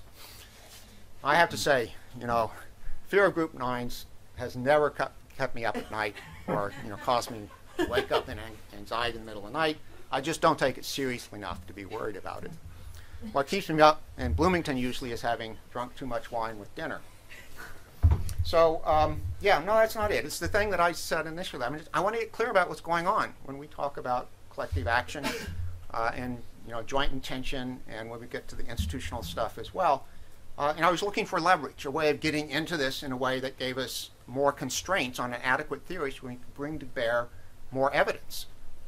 And I'm just trying to get clear about these things. And it's an upshot of this that groups don't appear in the agency relation and an account of the truth conditions of group action sentences. Okay, and the rest sort of follows out of that. Okay. Uh, there are independent reasons, of course, to be suspicious of the group mind hypothesis, and you know I do say some of that, but the basic motivation of the project is independent of that. Okay, so now on to there are two things, other things I want to talk about: the rejection and satisfaction principle, and the uh, putative counterexample, which I know you're all waiting to hear about. Um, has to be said, you know, coming up with a counterexample to the one true theory is hard because you cannot counterexample reality. Okay, so we're, we're going to have to look at that. Okay, so yeah, here's an, an argument that uh, Michael presents, and he which he attributes to me. Okay. To Searle. Ah, yes. Well, I thought you were saying I had to buy into it as well. That's what I thought. If not, then then oh, I could just skip this part. And you know, this criticism was of Searle, not of me. So I'm home free. I don't have to accept that mode business, right? No, I mean, I would certainly like to know what you think about it. I Okay. mean, I Yeah, direct, yeah, yeah. I mean, yeah, I don't- know Okay. you, ex- yeah. Well, one thing I'd like to point out, uh, the first thing, is that uh, the conclusion follows, except for the last comma bit, without the third premise. So, sure, I accept one and two, and I accept the conclusion except for the thing after the comma. Job done. Okay. Now, actually, in your slide, as opposed to the written thing, you have an extra equivalence on the end, and this is where I, you know, there's going to be something important to say uh, and that is content of intention equals propositional content equals what is intended. Now, I actually do hold that the, the content of the intention is its propositional content in this traditional sort of mode content picture of how things work. But what I don't agree with is that the phrase was intended always picks out propositional content. And since uh, Michael's arguments hinge, upon intuitions about what is intended or the object of intention, turns out to be misleading. It's not a sound argument. Okay, not a valid argument. Okay, well, uh, let's uh, let's look at uh, this. Oh, there's there's that. So, okay. So here's something that Michael says: If I intend to close the door and you believe that I will, it seems natural to say that what I intend is also what you believe. That's the thing I want to focus on. He also goes on to say, um, we are directed at the same object in the world, my action, which is a goal for me, and a fact, an object of belief for you. Now, hmm. Actually, I can intend to do something without ever doing it, so the action can't be the object of the intention. So something has to be fixed there. Um, so um, anyway, I'm going to focus on the what I intend business because it seems to me that's really what's driving it. Okay, so uh, is it really true uh, that uh, you know if I intend to open the door uh, and you believe that I will open the door, you believe what I intend? No. Okay, so here's an argument. I intend to drown my sorrows in a barrel of beer. So, well, what is it I intend? What I intend is to drown my sorrows in a barrel of beer. You believe what I intend, so you believe to drown my sorrows in a barrel of beer. That's not even grammatical. Okay, you may think, oh, man, come on. Come on. I believe that you will do this. Okay, so, um, well, you know, one thing um, that's important to sort of uh, think about is, you know, what is the function of talk about what someone believes or desires or wants and so on. Uh, and uh, I think it turns out that the what often picks out a grammatical object, which is not the whole of what we would even standardly think of as the propositional content. So that's really the trouble with these kinds of arguments. And this is a kind of play on that because uh, the what here in premise two is picking up just the infinitival phrase. And in fact, very often when I say so and so believes or desires or wants, what so and so does is just picking up the infinitival phrase. Okay, so I'll give you some examples. So I do agree.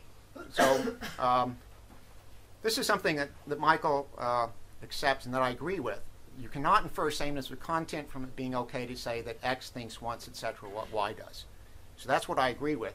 But what I don't agree with that is that the what Y does picks out propositional content. Okay, so that's really where the disagreement comes from. So um, Trump always thinks that he is the smartest man in the room. Okay, that's what Bannon always thinks too. That's why they were never going to get along in long, long in the long term. Okay. Now, of course, when I say that's what Bannon always thinks too, I mean that Bannon thinks it always thinks that he is the smartest person in the room. But this is perfectly ordinary English. The what can shift.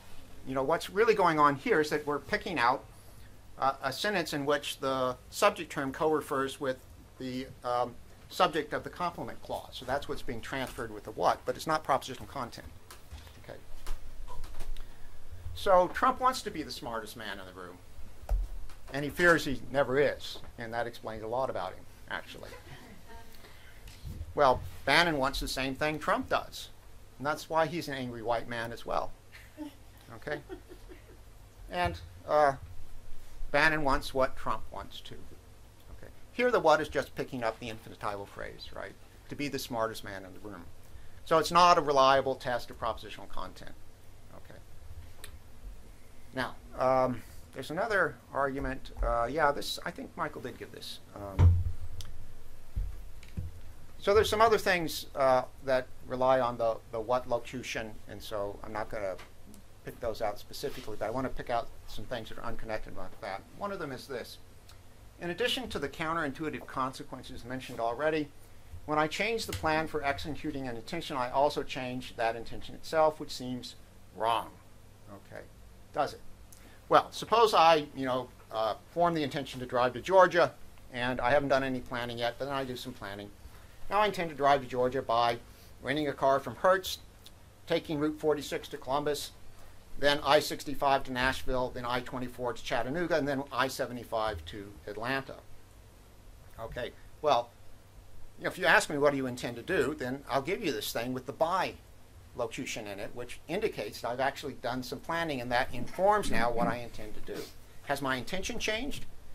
Well, I don't care whether you say it's changed or it's the same, but this is a perfectly ordinary thing. There's nothing funny about it. It doesn't seem just wrong. Okay. So this this happens whenever you you know form an initial intention directed at doing something, but it's going to require further planning to get it done. And when the further planning occurs, we read that back into the content of the intention, but it wasn't there to begin with. Okay, so that's okay. Nothing wrong there. Okay, now the thing you all been waiting for is the counterexample. Imagine that the hollandaise, in the hollandaise sauce scenario, jo Smith and Jones know of each other and that they are open to suggestions. So Smith writes out a plan for the making hollandaise, which specifies a time and place and what part each should play, and leaves it in the kitchen with the intention of getting Jones to make a hollandaise sauce with him in accordance with his plan. So Jones likes the plan and in turn leaves a copy of it in Smith's mailbox with the intention of getting Smith to make a hollandaise sauce with him in accordance with it. And, and Michael says, that then when they do it, they don't do it together intentionally. And, well, we should ask, what's supposed to have gone wrong? And it seems to me that the thing that Michael has in mind is that each has a kind of picture. I mean, just look at the description of the case and why is that case supposed to raise a problem? It seems that each has a picture of how the other got involved, but each has a picture that can't be right if the one the other has is right. Okay, so I agree, something kind of went wrong there, but does it undermine the claim that they acted together intentionally? And I want to say, no, it doesn't. And uh, to convince you of this, I'm going to shift from this case to other cases, since you might think this is a bone of contention here. But these other cases, you'll see, I'm going to do, go to three cases, which are going to get closer and closer than this one. You're going to see, you know, look, there's no question in these other cases that the parties acted together intentionally. Okay, so that's the strategy. Okay, case one. Um, I'm at a party and I want to play matchmaker between Bud and Pearl. I know they're both into the rumba, and so I get so what I do is I go to Bud and I say Pearl wants to dance the rumba with you the next time Besame Mucho is on the stereo. And then I go to Pearl and I say the same thing. Well, not exactly the same thing, but that's the way we talk, right? Okay, you, you get it. Then I put Besame Mucho on the stereo and Bud and Pearl dance the rumba, each intending they dance the rumba when Besame Mucho is on the stereo. So did they dance the rumba together intentionally? Well, obviously so. I mean, there's no question in this case. It would be absurd to deny it. But they certainly had the wrong idea about why the other arrived on the dance floor at the right time. Each thought that the other had asked him or her to dance, and in fact, neither had. But it doesn't make a difference.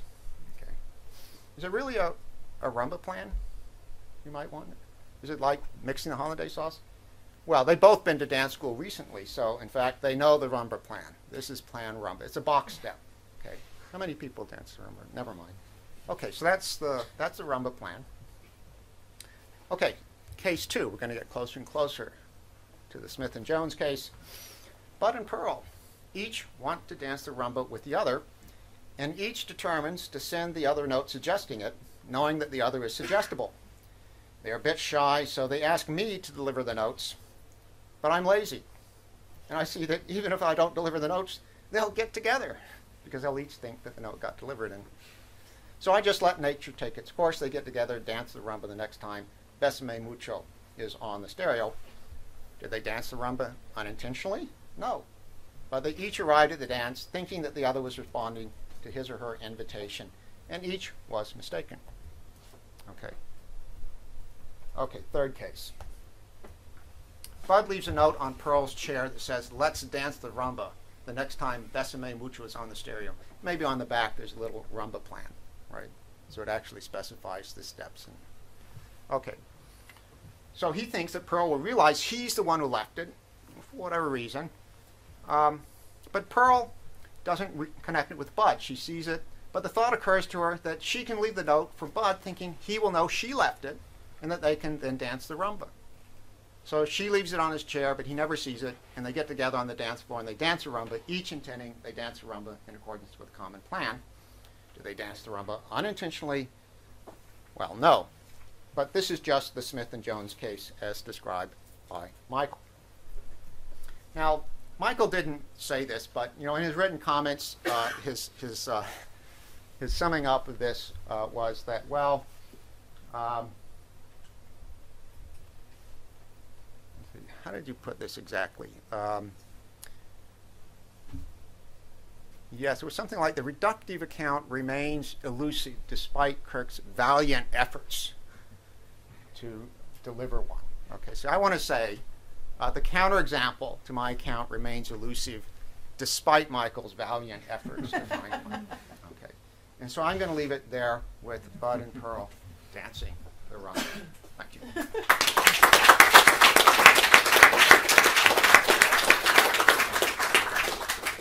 So we have around 18 minutes for discussion, and I think we'll let uh, Kirk have the last word among the panelists and leave the open the floor for discussion. Christian List. Yeah, so I thought I'd uh, make some remarks in support of uh, group agents and group minds Sure. uh, against uh, some of the skepticism. So I think, for the sake of argument, um, one can entirely grant your analysis of plural action sentences and say that this is the correct analysis for plural action sentences that you offer.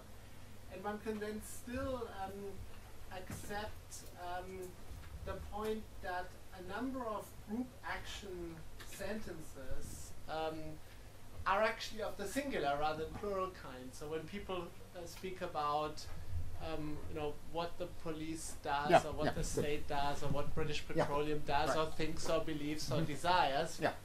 those are singular action sentences. And so on the face of it, um, our folk understanding of these singular action sentences does seem to um, attribute um, you know certain kinds of psychological states like beliefs and desires to the relevant corporate um, entities. So that's that's one point I, I wanted to make, and then two other quick points um, are, are the following. So um, you suggest that groups do not feature in the agency relation. Again, I think that may very well be right uh, when we look at the plural action sentences that, that you analyze. But on the other hand, if we take the um, example of these singular action sentences involving uh, corporate entities, then um, arguably those corporate entities do feature in the agency relation on a sort of perfectly natural understanding. And then finally, I mean, is there an explanatory use for attributions of psychological states to, to groups? Well, I would argue that we, we have some um, uh, cases of, um, you know, fairly widely accepted explanatory use for this sort of thing. For instance, in the theory of the firm in economics, where we uh, use tools from game theory, let's say, to make sense of how firms behave competitively on the marketplace, where we ascribe um, beliefs and desires to those firms in the form of utilities and subjective probabilities, and then um, are able to uh, give perfectly empirically adequate uh, accounts of how those firms will strategically interact. Now, of course, in this kind of case, you might say, well, maybe this attribution of beliefs and desires to those firms is just um, a, a useful metaphor, just some kind of theoretical construct. We shouldn't interpret it too literally. But on the other hand, that would be taking a substantive view in a philosophy of science debate. Namely, you would then be an instrumentalist about those kinds of scientific theories. And if we want to be scientific realists in how we understand those theories, then we might say, well, on the face of it, if those theories really are our best scientific theories of those collective phenomena, then we might as well take their ascription of beliefs and desires to groups at face value. Anyway, I just Yeah. wanted to you know Okay, raise great. these various uh, Yeah, uh, points and and you know hear your response. Great. Okay, so there is a second volume coming, it turns out. and the second volume is about grammatically singular group action sentences, including action sentences about institutions, which use grammatically singular terms. And I give a long, long argument there for the, that, for the conclusion that uh, the multiple agents account of um, plural action sentences can be extended and should be extended to the case of institutional action sentences. So you can get a lot of the same data going. Uh, for example, you can get collective and distributive ambiguity for institutional action sentences. Uh, when, it, when it's difficult to do that, it's usually, well, it's always because it turns out the verb itself uh, selects an event type that has to be brought about constitutively by more than one agent. But that's not about the structural form of the sentence. It's about something you add with the verb, and you get that even with plural action sentences. So you, you, it's a hard, it's hard to get a collective reading of "We will meet in the library." Why? Because it doesn't make sense to say "I will meet in the library," right? Because it's a collective action event that is expressed. But that doesn't mean that the structure of the sentence isn't that each of us will contribute to bringing about that there's this event of our meeting in the library. Okay, but now I'm not going to give you the whole argument here because um, take a long time, and it's coming out. I want you to read the book. uh, okay, so that actually uh, addresses sort of the first two points because uh, I think the argument of that book uh, pushes back against both those, those things. Now the third thing yeah, well, I should look in a little bit more to the way these notions are used in uh, economics. Um, no, I don't object to there being um, one designing concepts, even using the word belief and desire to express them, uh, to keep track of what I was calling the action potential of firms. I think in ordinary discourse, it's too loose really to do a lot of predictive work, but uh, cer- certainly you could tie them down in certain ways to make them more precise so it's very clear what exactly you were saying when you say uh, such and such a organization believes this and wants that, and then you get to say this is going to happen in turn. So um, I'm happy with that. Um, and uh, well, it sounds like you're going to accuse me of uh, either uh, getting into trouble or denying scientific realism by saying something like that. But I, all I would say is these are not the same concepts we use in attributing beliefs and desires to each other. And if you think about the way it works with each other, you know, any, any belief you attribute to somebody involves a number of concepts. And possession of these concepts is really a pretty complicated thing. And we're completely indifferent to it in the context of these sort of um, terms that are introduced in the context of a theory where they're defined fairly precisely.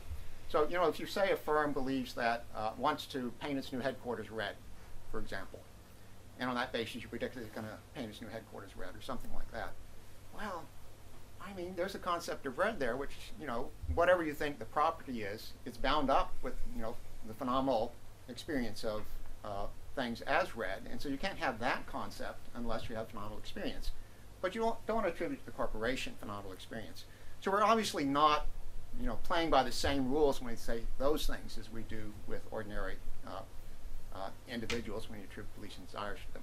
So I just say, you know, you've got a theoretical concept there. Uh, the, the theory in which it appears gives you the content of the concept. And the, and the danger is that you'll think because it's the same word, it's the same concept that we use when we attribute beliefs and desires to individuals. So that's the response to the last thing.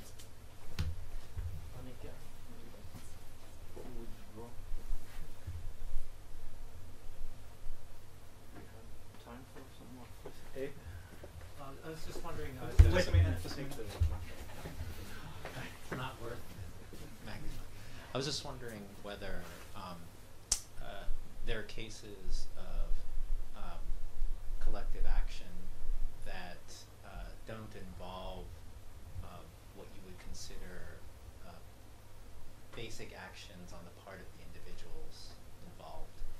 So, uh, I, I, I, my understanding of the logical form that you are Mhm. defending, it's like, you know, there's this one event and multiple agents, uh, mu- multiple individuals are agents of that event. And how is that cashed out? Well, each individual is an Mhm. agent of Right. his or her own action. Right. And then that individual action along with all, all these other individual actions somehow. And, uh, uh, and, and is that absolutely necessary? I mean, might it be that each individual is, you know, the subject of some kind of movement that we would not really consider an action, right? Um, but together they constitute uh, a collective action. I mean, is that just a kind of possibility on your view, uh, or is it a possibility that you would rule out for other considerations besides? It's ruled out in my view. Yeah. On what grounds? Um, well, so as I say, you know, I build up the story about plural action sentence from starting with individual action sentences. And individual action sentences, the matrix come out comes out with the full, you know, putting more in than I did, uh, anybody has in this uh, discussion so far.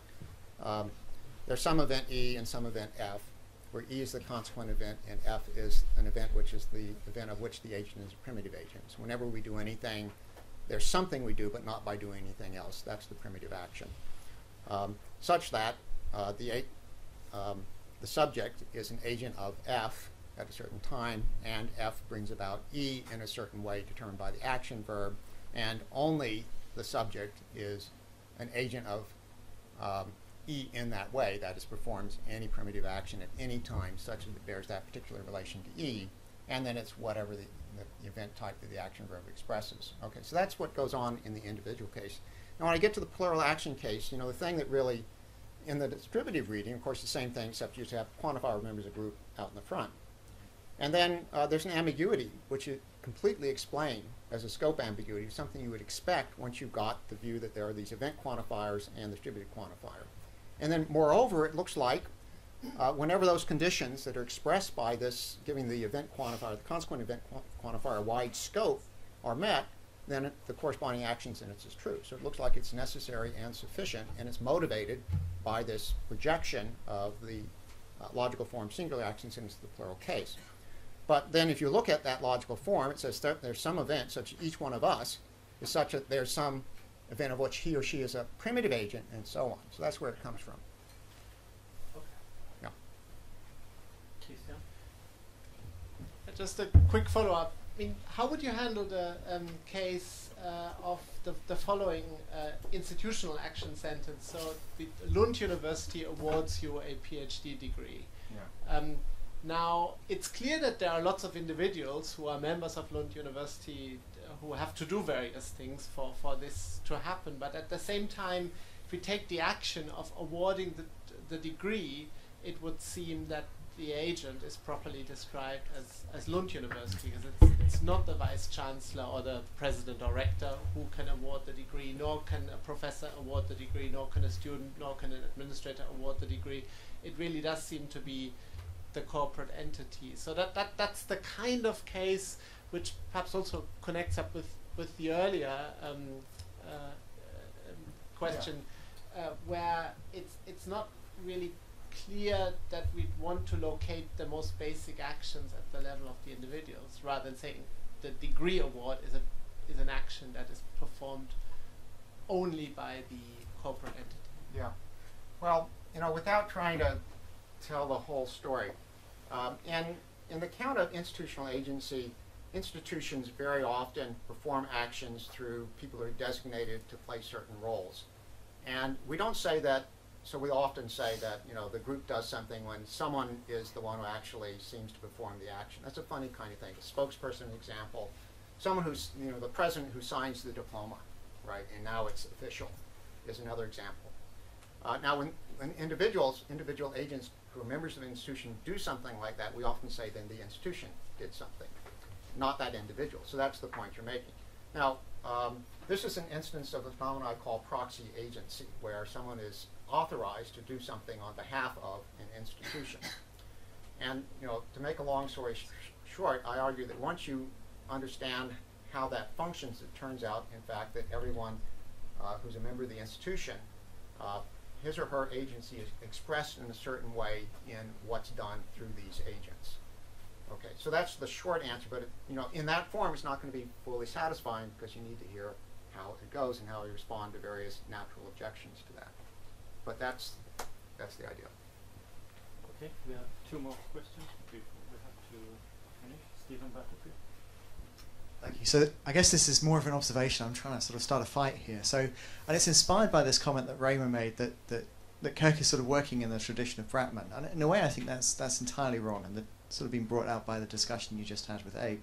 And, and here's the thought, right? So, on a view like Bratman's on many people's views in this room, there's something like shared agency or shared intention, which is a thing to be explained, right? Whereas I take it on your view, there isn't, right? So a collective intentional action is just a collective action, perfectly common or garden thing, which bears a certain relation to a certain kind of intention. And that's all there is to it, right? So there isn't anything to be explained there. There isn't a kind of shared intention or a shared agency kind of phenomenon. And that seems to me a radical departure. It seems to me there's two really very different ways of thinking about the phenomena involved here. And this is surely why there's so much disagreement between you and the other panelists hiding there. Because for you, you know, there's collective action and, and, and that's something that, that can exist. There can be all kind of causes for it. So so a, a train's arrival can be the cause of a collective action, lighting up the platform or whatever, right? Uh, and so can intention, and that's all there is to it. So, first of all, I think I'm right that there is this kind of radical difference. And secondly, I want to hear from some of the panelists why they think that there is something more to be explained. What constrains that? What constrains that phenomenon? So this seems like a really fundamental challenge for me. What is it that gives us a grip on the shared agency, shared intention, we intention, whatever it is that's still outstanding that still needs to be explained, right? Do we any of you? Sara? I have a quick question. So, Uh-huh. um, Oh, and it actually it connects up with this, I think. But when you gave the Roomba example, which I love, Michael and I are going to go the opposite. So I want you to think about your Roomba case, but is that how you pronounce it? Roomba, like the Anybody? okay. But anyway, it doesn't said matter. Rumba. or whatever, the rumba. but instead of the notes passing in the plan and all that good stuff, no notes pass. They see each other from across the room, you know, and they just start dancing the rumba. And uh, on my view, that would be an intentional collective action too. Uh-huh. I I think that, that could fit with Michael's view as well because they've they've signaled somehow, right? That's what you're thinking was missing. even if uh, no, even if they, even if you strip away, I'm trying to strip it even more so. Okay. And um, where it doesn't even get your planned stuff. Uh-huh. So it's even more strict. Um, somehow we just find ourselves on the dance floor and boom, we're dancing the rumba. Rumba. Yeah. Whatever. So it seems like this is a. m- I mean, Michael would be disgusted by that view. And and I'm friendly to that view, eh, which makes us a middle ground actually. And you should resist this, my view, but because you problem? require the some kind of planny stuff in there. Don't, For, don't they intend to dance the rumba together? they just do. I just think that there are these cases where you just do. Without intentions at all? That's, We'll- we'll, talk. We'll no. we'll talk about it later. But like without a, a collective intention at all, in any ordinary sense. Okay. But anyway, okay. You're right, an abomination. Abomination. yeah. I mean, that's actually also more like uh, my view.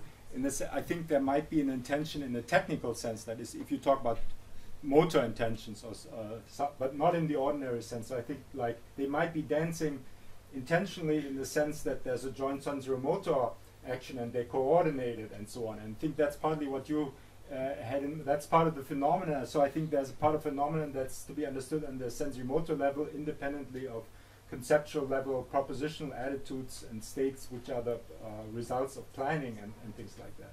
Yeah, so, so I would make distinction there, whereas I understood you as saying you're basically like a propositionalist or conceptualist and thinks all intentional action that can be understood in terms of um, conceptually and propositionally articulated. Well, states. I, I don't want you to Yeah. stick something on me that I don't believe. Of course, Good. you know there are lots of as there were motor routines Yeah. and you know infrastructure for action, right? That's But there. there's a special in, special infrastructure for joint action. That's the point. That we Oh, are, we uh, have well, special. there can be that as well, yeah. but uh, But that's right, yeah. So, um, yeah, and all sorts of mechanisms that could be at work there. You know, you know, some kind of mirroring, uh, you know, cognitive modeling. But that what- would be something intentional on your view.